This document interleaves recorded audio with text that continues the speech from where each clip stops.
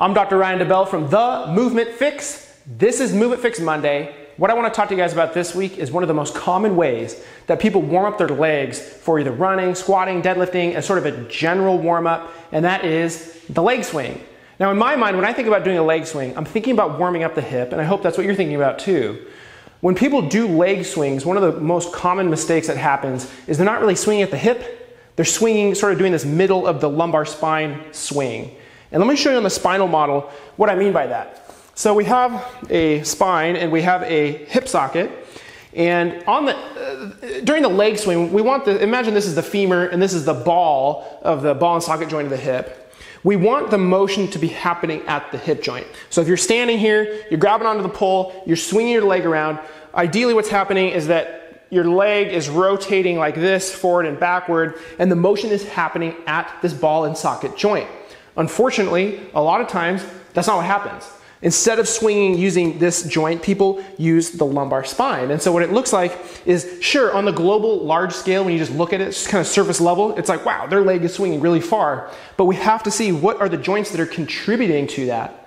And a lot of times it's this low back. So when the leg swings backward, the, the lumbar spine arches like this. And when the leg swings forward, the, lum- the low back rounds like this. Now, there may be a time and a place for that, but if I'm thinking about prepping for running, lifting, etc., I want to disassociate the movement of the low back from the hip. So, a common uh, topic that I talk about is movement disassociation or differentiation, however you want to say it. You're differentiating or disassociating hip movement from low back movement.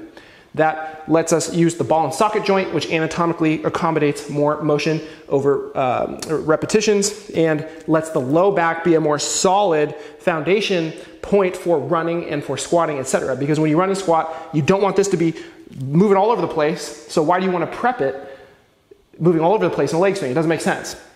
So on the global scale, what this looks like, this is what this is kind of what a lot of people will do because we're doing leg swings. We're not really thinking about the details. Is they'll swing back like this and they'll, they'll sort of arch and then they'll round and they'll arch and they're round. And you see a lot of motion is happening through the low back versus if I just do it at the hip and I'm going to take my hand and put it on my low back so I can feel what's going on there. I shouldn't feel rounding into my fingertips. I shouldn't feel arching into my fingertips. I should have just motion purely at the hip and it's going to look like I'm going less distance versus if I go like this, it looks, it looks like I'm going a lot farther, which a lot of people will think is desirable to go as far as you can. But if I'm just rotating around the hip joint as much as I can, it's going to look like less, but that's okay because now we're getting more hip, less low back. It's priming us for the activity that we're actually trying to do. So using your own hand is a great way to get feedback to make sure you're getting the movement where you want it.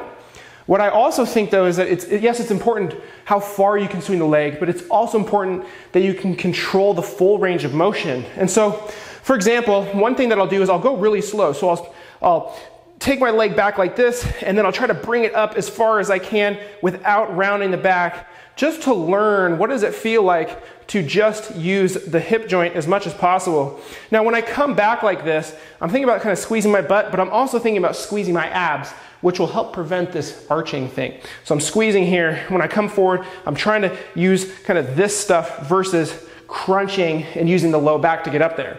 As you are able to control this range better under your own control, and you could stop at any position, then you can start adding a little bit of speed to it.